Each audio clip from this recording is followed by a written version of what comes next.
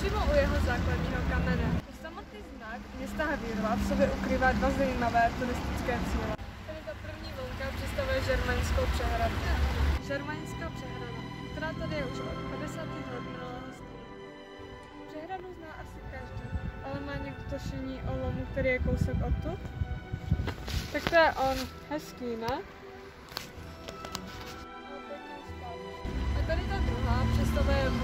Vodní dílo Těmonskou přehrada. Jen o pár let mladší než to Žermanická.